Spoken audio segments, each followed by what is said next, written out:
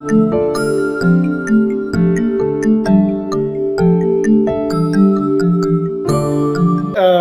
Job quit की, बहुत सारा रेजिस्टेंस भी फेस किया पेरेंट्स से रिलेटिव से, कि आप अच्छी जॉब में थे, फिर उधर आगे, वापस फिर से पढ़ोगे। लेकिन ठीक है, अगर फैसला लिया है तो उसको प्रूव करके भी दिखाना है। लेकिन मुझे इतना पता था कि इस काम में मुझे मीन्स मज़ा आता है। तो बाद में ये पता लगा कि I am a bond teacher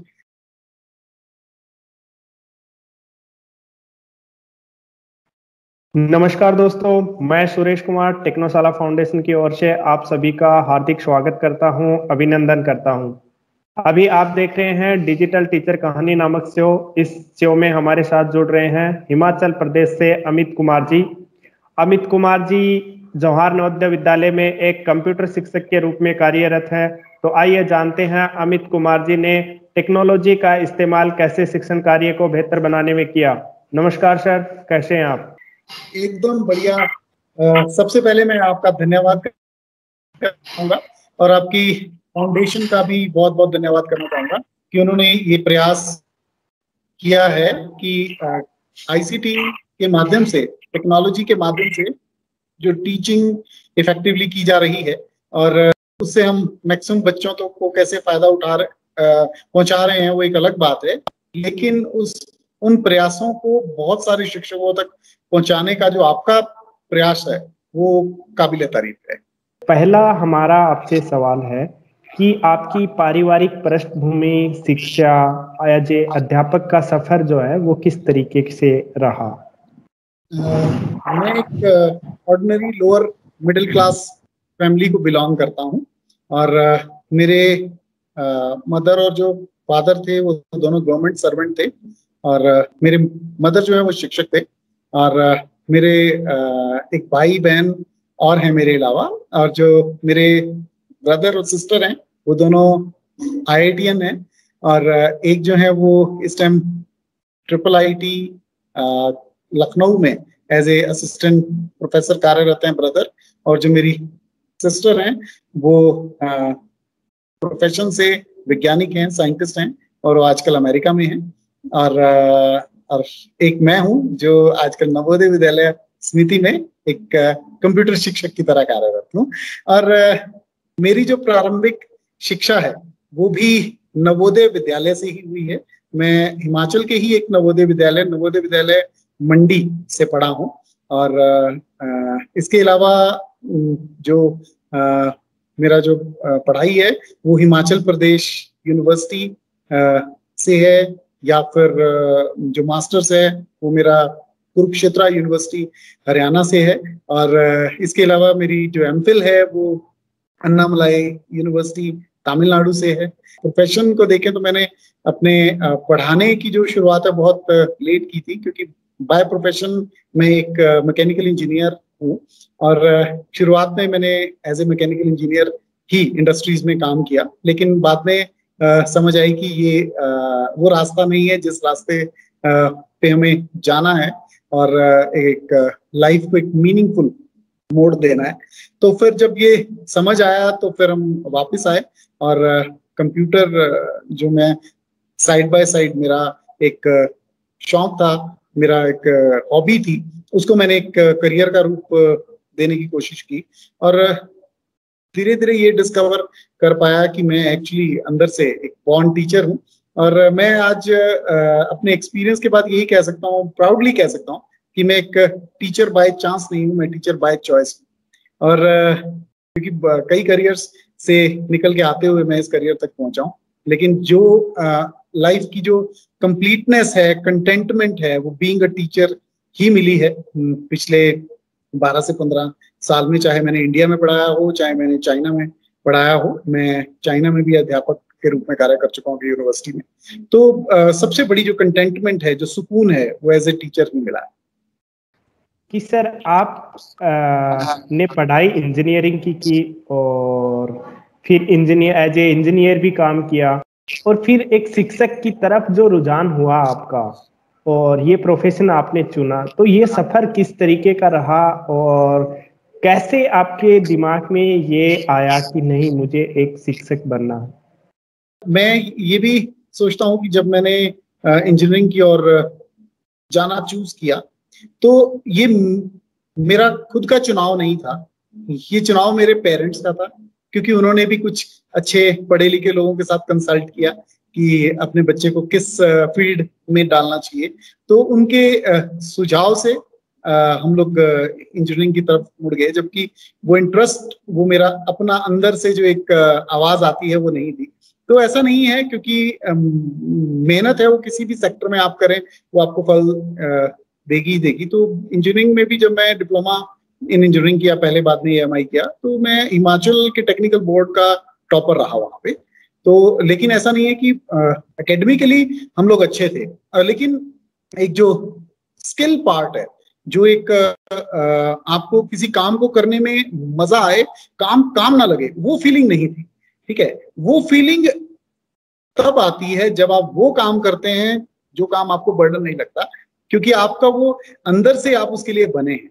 हाँ मैं पार्ट टाइम कभी कभी पढ़ाया करता था इंजीनियरिंग जॉब से पहले पैसे के लिए नहीं यूँ ही किसी को कोचिंग दे दी, किसी को कुछ हेल्प कर दिया तो उस काम में मुझे मज़ा आया करता था। मतलब एक एक एक घंटा, दो घंटा में बिना कुछ सोचे, समझे, बस एक ही जगह फोकस है। और उसकी थकावट भी महसूस नहीं हुआ करती थी। इवन रिफ्रेशमेंट महसूस हुआ करती थी कि आज मज़ा आ गया। मेरा दिमाग जो है वो बहुत ही कूल डाउन हो गया। मैं बहुत अच्छा महसूस करता हूँ। तो वो चीज़ एक थी माइंड में। लेकिन जब मैं इंजीनियरिंग फैक्ट्रीज में जॉब की तो आ, उसके बाद मुझे पता लगा कि नहीं सच में अगर मैं यही रहा तो मैं सिर्फ़ कुछ ही लोगों को बेनिफिट कर पाऊँगा। मैं बहुत बड़ा कोई फ़र्क सोसाइटी में चेंज नहीं लेके आ सकता और ना ही मेरा पूरा पोटेंशियल इस्तेमाल नहीं होता। और सबसे बड़ी बात है कि आदमी को फ्रस्ट्रेशन ही तभी होती है जब आदमी का पूरा पोटेंशियल इस्तेमाल ना हो रहा हो। क्योंकि जब आप इस चीज़ को एक्सपीरियंस करते हो पूरा पोटेंशियल इस्तेमाल नहीं हो रहा है तो एक अलग तरह की नेगेटिविटी आपके अंदर आनी स्टार्ट होती है। फिर या तो आप उस नेगेटिविटी के अंदर दब जाओगे, या फिर अपना जो है अपने आप को बाहर निकालोगे और वो चीज़ करोगे जो आपको सच में मज़ा आता है। फिर इंजीनियरिंग जॉब क्विट की, बहुत सारा रेजिस्टेंस भी फेस किया पेरेंट्स से रिलेटिव से कि आप अच्छी जॉब में थे, फिर उधर आ गए वापस फिर से पढ़ोगे। लेकिन ठीक है, अगर फैसला लिया है तो उसको प्रूव करके भी दिखाना है।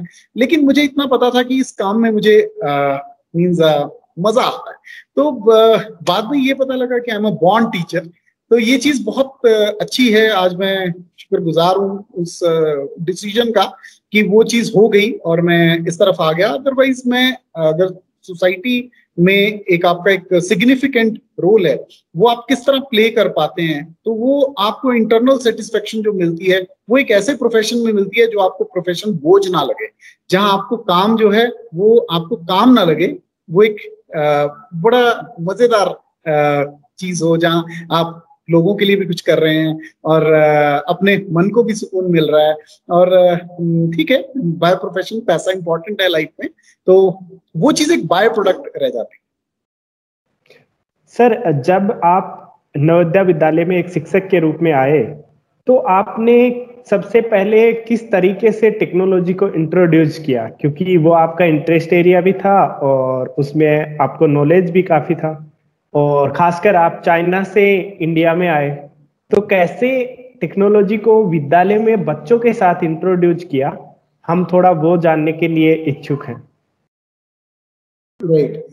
ये बहुत ही बढ़िया आपका सवाल भी है, क्योंकि शुरुआत हमेशा इंपॉर्टेंट होती है तो एक्चुअली सबसे पहले जब मैंने नवोदय विद्यालय में एज ए शिक्षक ज्वाइन किया तो उस टाइम पे मेरे मुझे पढ़ाते पढ़ाते ये एक चैलेंज महसूस होने लगा कि क्योंकि आप थोड़ा सा नवोदय विद्यालय के बच्चों के बारे में जानेंगे, क्योंकि मैं खुद भी नवोदय विद्यालय से पढ़ा हूँ। तो 80 परसेंट जो बच्चे हैं वो रूरल बैकग्राउंड के होते हैं और सिर्फ़ 20 परसेंट ही जो है वो अर्बन बैकग्राउंड के होते हैं। तो इस वजह से एक बहुत बड़ा गैप है रूरल और अर्बन बच्चों की सोच में, स्किल्स में, हर हर जगह एक गैप है बहुत ज़्यादा। और एज ए टीचर ये एक चैलेंज है। और सेकेंड चीज़ जो इस गैप के कारण आगे उभर के आती है वो आती है स्लो लर्नर और ब्राइट स्टूडेंट्स की। कि कुछ बच्चे हैं वो हर चीज़ को धीरे धीरे पकड़ते हैं। कुछ बच्चे हैं वो एकदम से ग्रास करते हैं। उसका फ़र्क ये भी है कि उनकी बैकग्राउंड का भी फ़र्क है। वो, आ, कुछ स्टूडेंट्स हैं जो हिंदी मीडियम से पढ़ के हमारे पास नवोदय में आते हैं। कुछ स्टूडेंट है जो इंग्लिश मीडियम से पढ़ के आते हैं। कुछ हैं मतलब वही जो अर्बन और रूरल वाला गैप है। तो वो सारा गैप वहाँ आके रिफ्लेक्ट करता है बच्चों के ऊपर और इस वजह से कुछ लोग अपने आप को उनमें हीन भावना आ जाती है। मतलब एक इंफीरियरिटी कॉम्प्लेक्स आ जाता है कि हम लोग बाकी लोगों के साथ compete नहीं कर पाए। तो सबसे बड़ा चैलेंज वही था टेक्नोलॉजी को इंट्रोड्यूस करने के लिए।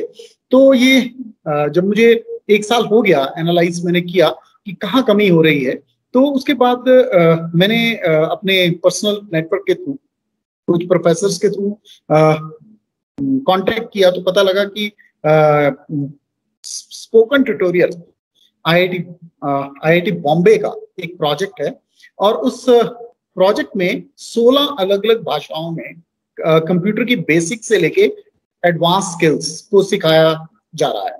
और ये प्रोजेक्ट फ्री ऑफ़ कॉस्ट है। एमएचआरडी फंडेड है ऑब्वियसली आजकल हम मिनिस्ट्री ऑफ़ एजुकेशन बोल रहे हैं, पहले एमएचआरडी था। तो एमएचआरडी फंडेड ये प्रोजेक्ट था आईआईटी बॉम्बे के पास था, लेकिन इस प्रोजेक्ट को लोगों ने सही रूप में बहुत कम लोगों ने इसको इस्तेमाल किया और इसका फ़ायदा उठाया। तो मुझे ये पता लगा कि ये free and open source software की पढ़ाई करवाते हैं। क्योंकि मैं चाइना में रहा था तो चाइना में फ्री एंड ओपन सोर्स का कॉन्सेप्ट मैंने बहुत सुना था और इतना पता था कि 75 percent of electronic product in the world वो चाइना में बन रहे हैं। उसका कारण भी यही है कि वो लोग free and open source software पे काम करते हैं और उनको फैक्ट्री ऑफ़ द वर्ल्ड कहा जाता है। तो वो चीज़ एक माइंड में थी कि वही चीज़ अगर फ्री एंड ओपन सोर्स हमारे स्टूडेंट सीखेंगे, उसके बारे में अवेयरनेस होगी तो आने वाले टाइम में ये बहुत बड़ा पॉजिटिव इम्पैक्ट हो सकता है। और साथ में मेरी जो प्रॉब्लम थी वो जो गैप था स्लो लर्नर और ब्राइट स्टूडेंट्स के बीच का या अर्बन और रूरल के बीच का वो गैप ब्रिज करने का एक मौका था। तो वहाँ उस आई बॉम्बे प्रोजेक्ट में कुछ ऐसे कोर्सेज थे जैसे कंप्यूटर के ही जो मेरे सिलेबस में भी थे। तो मैंने उस आ, उन कोर्सेज को अपने सिलेबस के साथ अलाइन किया कहा मैं बच्चों को फ़ायदा पहुँचा पाऊँ। तो उससे क्या हुआ कि कुछ स्टूडेंट जो मेरी क्लास में, क्योंकि क्लासेस में लिमिटेड टाइम रहता है तो उनको मैं वन टू वन टाइम नहीं दे पा रहा था। तो वहाँ जो स्टूडेंट स्लो लर्नर हैं, जो मेरी क्लास में कैचअप नहीं कर पाते, पीछे रह जाते हैं तो उनको कुछ एक्स्ट्रा टाइम दिया जाए उस प्रोजेक्ट प्रोजेक्ट के ऑडियो वीडियो ट्यूटोरियल के माध्यम से वो सेल्फ पेस्ड ई लर्निंग करें और जहाँ उन्हें प्रॉब्लम आती है, वहाँ मैं उनकी थोड़ी हेल्प भी कर पाऊँ। और लेकिन जो ब्राइट लर्नर हैं जो आगे भागना जानते हैं उनको भी कंट्रोल करने का एक बहुत अच्छा मौका था क्योंकि वो लोग सिलेबस का काम एकदम से खत्म कर दिया करते थे लेकिन उसके अलावा भी उन्हें कुछ चाहिए हंग्री है वो सीखने के लिए।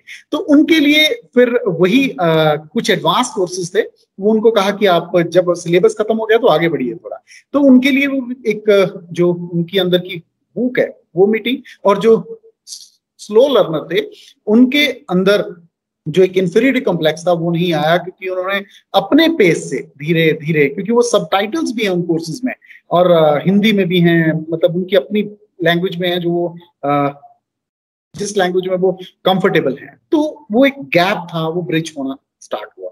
तो उसके बाद हमने ये स्कूल में एक्सपेरिमेंट किया। फिर देखा कि पूरी स्टेट में भी ये प्रोजेक्ट कहीं स्टैंड नहीं करता है, क्योंकि आईआईटी बॉम्बे काफ़ी दूर है, हिमाचल से, इस वजह से वहाँ रेगुलरली लोग विज़िट नहीं कर पाते हैं। तो वॉलंटियर किया अपने आप को मैंने, कि आप यहाँ क्यों नहीं कर पा रहे इस कॉलेजेस में ये प्रोजेक्ट को? तो उन, वहाँ से जो रिप्रेजेंटेटिव थे, उन्होंने बताया कि हम लोगों के लिए आना फ्रिक्वेंटली पॉसिबल नहीं हो पाता, हम साल में एक दो चक्कर ही लगा पाते हैं। तो अगर हमें कोई वन पॉइंट कॉन्टेक्ट वहाँ मिल जाए, जो हमारे लिए ये काम में हेल्प कर दे तो इट विल बी गुड तो वहाँ मैंने थोड़ा वॉलेंटियर किया और हायर एजुकेशन के डायरेक्टरेट के साथ एसोसिएट किया कॉलेजेस के प्रिंसिपल्स और उनके कंप्यूटर प्रोफेसर को ट्रेनिंग दी और वर्कशॉप्स हमने ऑर्गेनाइज की, जहाँ से ये चीज़ फैल गई। क्योंकि प्रोजेक्ट फ्री था एमएचआरडी फंडेड था, सिर्फ़ लोगों तक सही माध्यम से पहुँचना था। तो उसको पहुँचाने में कुछ टेक्निकल चीज़ें थी, उसकी मॉनिटरिंग थी वो करने में हेल्प की। तो अल्टीमेटली लगभग चौदह से सोलह, दो एक साल में ये प्रोजेक्ट था जो ये अड़तीस से चालीस हज़ार स्टूडेंट्स तक पहुँचा। और उस वजह से अड़तीस से चालीस हज़ार स्टूडेंट्स जो थे इस इस माध्यम से बेनिफिट हुए। और इसी के इसी कारण मेरा चुनाव नेशनल आईसीटी अवार्ड के लिए भी किया गया। और महिम प्रेसिडेंट ऑफ़ इंडिया ने मुझे उस चीज़ से नवाजा। लेकिन ये एक एफर्ट था सही सोच के साथ किया गया, जो मतलब ब्लेसिंग्स मुझे मिली।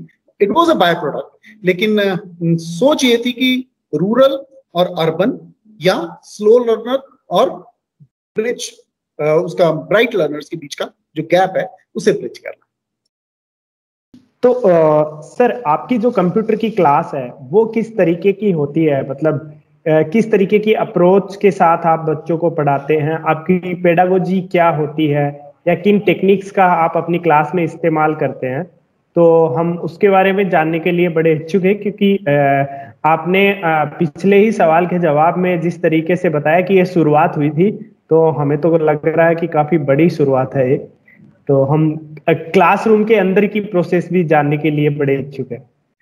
ठीक है स्पोकन ट्यूटोरियल आईआईटी बॉम्बे का सफ़र अभी भी चल रहा है, लेकिन उसके अलावा बहुत कुछ हम लोग सीखते गए और उसको अपनी क्लास में लेके आते रहे। अब उसमें से जो पेडागोजी या अप्रोच या टेक्निक आप कह रहे हैं तो मैं मैक्सिमम अपनी क्लास में कोलैबोरेटिव फ्लिप्ड क्लासरूम अप्रोच का इस्तेमाल करता हूँ। इसे पलटी कक्षा भी कहते हैं। तो सहयोग से की गई पलटी कक्षा कोलैबोरेटिव फ्लिप क्लास तो इसमें क्या होता है कि कन्वेंशनल क्लास से ये बिल्कुल अलग होती है। मतलब उसमें क्या होता है कि स्टूडेंट्स का रोल 70 परसेंट हो जाता है और 30 परसेंट एजुकेटर का हो जाता है। जो कि कन्वेंशनल मेथोडोलॉजी में उल्टा होता है राइट आमतौर पे होता यह है कि टीचर जो है वो लेक्चर दे रहा है। स्टूडेंट उसके नोट्स ले रहा है और उसके बाद वो होमवर्क कर रहा है। अगर उसे मन में कोई सवाल आया तो वो टीचर से पूछ रहा है। अदरवाइज़ वो उसी का असेसमेंट भी दे रहा है। बस इतना ही। लेकिन फ्लिप क्लासरूम में क्या होता है कि स्टूडेंट को जो काम है, वो क्लास में नहीं करना है। उसे तैयारी करनी है किसी टॉपिक की अपने घर पे या नॉन अकेडमिक आवर्स में वो तैयारी करता है। और उसके बाद वो उस टॉपिक को अपने ग्रुप के साथ मतलब अपने ही क्लास के स्टूडेंट के साथ डिस्कस करके उसे और अच्छा प्रेजेंटेबल फॉर्म देता है। फिर वो लोग मिलके क्लास में अपने टॉपिक को प्रेजेंट करते हैं और क्योंकि अब वो पढ़ाने जा रहे हैं तो मेरा मानना ये है कि आदमी तब सीखता है जब वो किसी को सिखाने की कोशिश करता है। तो जब वो पढ़ते हैं इस सोच के साथ कि उन्होंने मुझे पढ़ाना है तो उनका एफर्ट भी बहुत फोकस्ड होता है और बहुत ही जील के साथ वो तैयारी करते हैं। फिर वो आके क्लास में वो प्रेजेंटेशन मुझे देते हैं और इस चीज़ के लिए आ, हम लोग दो टूल्स का इस्तेमाल करते हैं। एक वैकलेट है और एक है माइक्रोसॉफ्ट का Flipgrid Microsoft Flipgrid video platform है और वैकलेट जो है वो ई कंटेंट ऑर्गेनाइजेशन प्लेटफॉर्म है। तो स्टूडेंट्स मेरे स्टूडेंट्स जो हैं वो फ्लिपग्रिड भी इस्तेमाल करते हैं वैकलेट भी इस्तेमाल करते हैं। मैं उनके साथ जो आ, अपनी टॉपिक है डिस्कशन का वो फ्लिपग्रिड या वैकलेट के माध्यम से शेयर करता हूँ और वो लोग अपनी प्रेजेंटेशन उसमें रिकॉर्ड भी करते हैं और बैकलेट में बनाते भी हैं।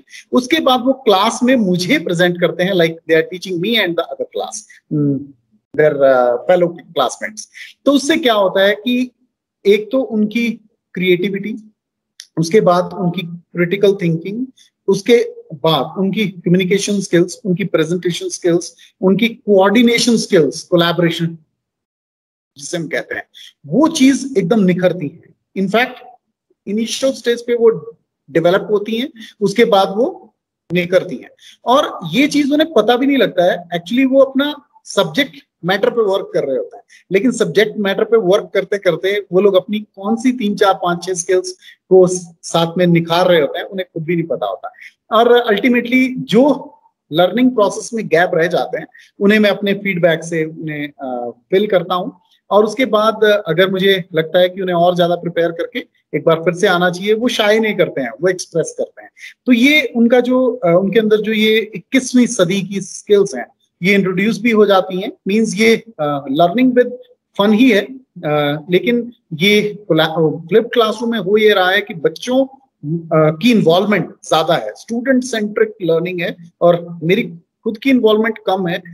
उस वो इन्वॉल्वमेंट कम होने के कारण मेरे पास जो एक्स्ट्रा टाइम आ रहा है उस एक्स्ट्रा टाइम को मैं उन स्टूडेंट्स पे फोकस करने पे लगा सकता हूँ जो स्टूडेंट्स को मेरी ज़रूरत है रेमेडियल टीचिंग के लिए सर अभी तक आपने कौन कौन से नए इनिशिएटिव लिए हैं या नए पहल की हैं जो काफ़ी प्रभावी आपको लगता है? टीचिंग लर्निंग प्रोसेस में ब्लेंडेड लर्निंग को इंट्रोड्यूस करने के लिए मैंने स्पोकन ट्यूटोरियल आईआईटी बॉम्बे के कोर्सेज के साथ अपने सिलेबस को अलाइन किया ताकि बच्चों को एक एक्स्ट्रा पर्सपेक्टिव मिल सके। और स्लो लर्नर और ब्राइट लर्नर के बीच का गैप जो है, वो ब्रिज हो सके। ये एक ब्लेंडेड लर्निंग की जो अप्रोच है, ये बहुत ही फ़ायदेमंद रही इफ़ेक्टिव रही। इसके अलावा फ्लिप्ड क्लासरूम जो है, वो एक बहुत ही सेटिस्फैक्ट्री एक्सपेरिमेंट रहा और है भी है। और उसमें हमने फ्लिप्टेड और वेकलेट के ज़रिए किया। और स्काइप इन क्लासरूम के ज़रिए हमने बच्चों को क्लासरूम की चार दीवारी से बाहर निकाला और उन्हें इंडिया के बाहर जो हो रहा है, उन क्लासरूम के साथ भी जोड़ा। इसके अलावा अब क्योंकि हमारा जो एजुकेशन सिस्टम है, अल्टीमेटली वहाँ अभी भी स्टूडेंट को मार्क्स शीट से ही वैल्युएट किया जाता है, कितने आपके मार्क्स पेपर में आए। तो वहाँ वो स्किल चाहिए जो ट्वेंटी फ़र्स्ट सेंचुरी स्किल नहीं है मतलब मेमोराइजेशन उनको याद रखना है सिलेबस को, ताकि वो अच्छी तरह से अटेम्प्ट कर पाए अपने पेपर को।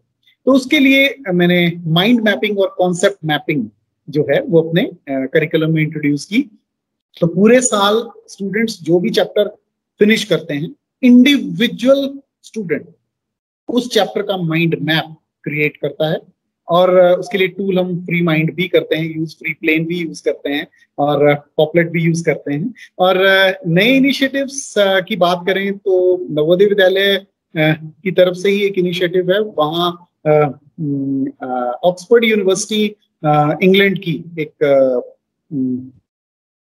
अपनी उनकी एक एनजीओ है कार्टा इनिशिएटिव करके। तो वो जो कार्टा इनिशिएटिव है, उनके ज़रिए हम बच्चों को करियर गाइडेंस और साथ में twenty first century skill development की तरफ़ लेके जा रहे हैं। अभी नेक्स्ट मंथ से हम न्यू एजुकेशन पॉलिसी में ये प्रस्तावित है कि कोडिंग जो है, वो बच्चों को सिक्स से सिखाई जानी चाहिए। तो उस सोच को रखते हुए काटा इनिशिएटिव के साथ हम मिलके कोडिंग को सिलेबस में लाने की कोशिश कर रहे हैं। सर, इन सब कार्यों में आपकी उपलब्धियाँ किस तरीके की रही हैं? एक्चुअली आदमी उपलब्धियों के लिए काम नहीं करता। है काम हम करते हैं इस चीज़ के लिए कि मन को सेटिस्फेक्शन मिले। 2015 में मुझे प्रेसिडेंट ऑफ़ इंडिया से नेशनल आईसीटी अवार्ड से नवाजा गया है।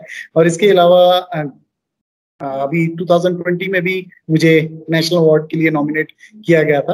और इसके अलावा बहुत सारी एनजीओ और वर्ल्ड वाइड ऑर्गेनाइजेशन हैं जिनके द्वारा फेलिसिटेशन हुआ है। मीन्स एक ग्लोबल टीचर अवार्ड है। उससे 2019 में मुझे मिला। नेशनल इनोवेटिव एजुकेटर 2019 मुझे मिला।